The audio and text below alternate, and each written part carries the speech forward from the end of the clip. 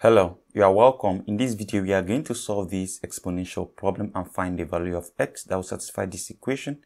We have negative 9 raised to the power of x equals 9.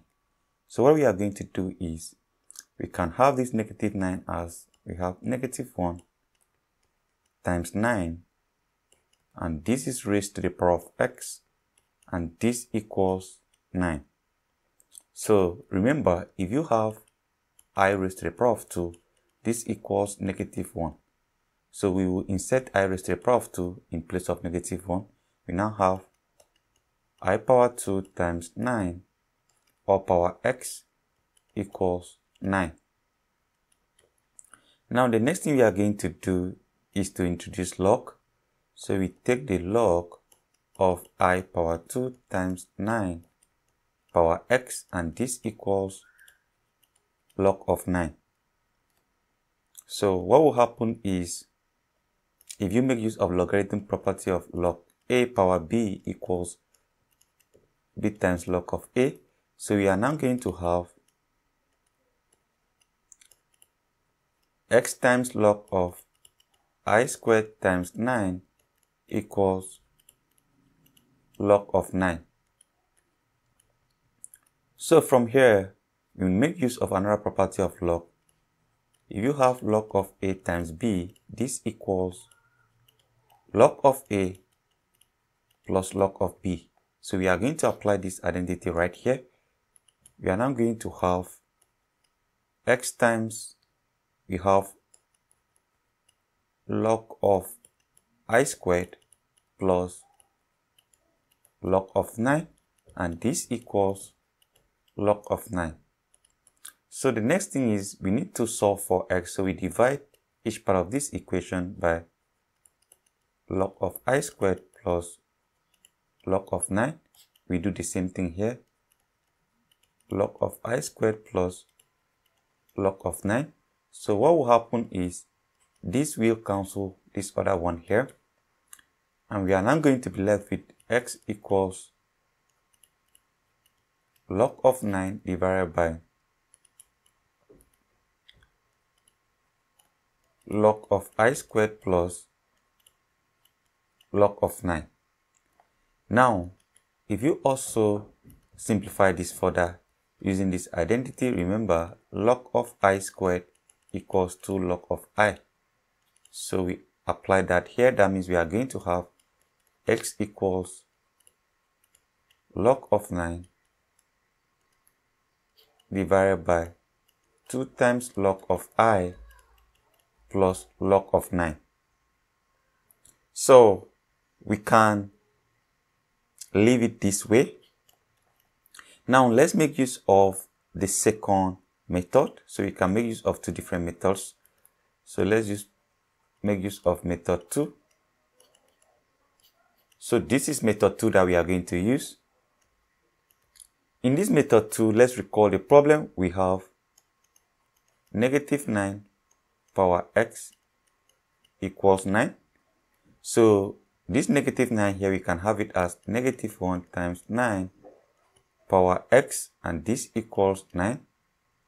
So the next thing we are going to do is we expand this or we write it out as negative 1 power x times 9 power x and this equals 9.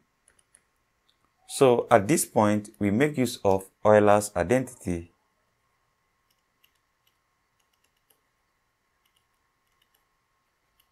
Euler's identity, then if you have i raised to the power of e raised to the power of i pi, then you have plus 1. This equals 0. So from here we have e raised to the power of i times pi equals negative 1. Taking this positive 1 down here. So that means we will now replace this negative 1 power x with this e raised to the power of i times pi. So we now have e raised to the power of i times pi, which is this negative 1. And this is raised to the power of x. Then we have times 9 power x equals 9. So the next thing we are going to do is to multiply this exponent. we have e raised to the power of i pi x times 9 power x equals 9.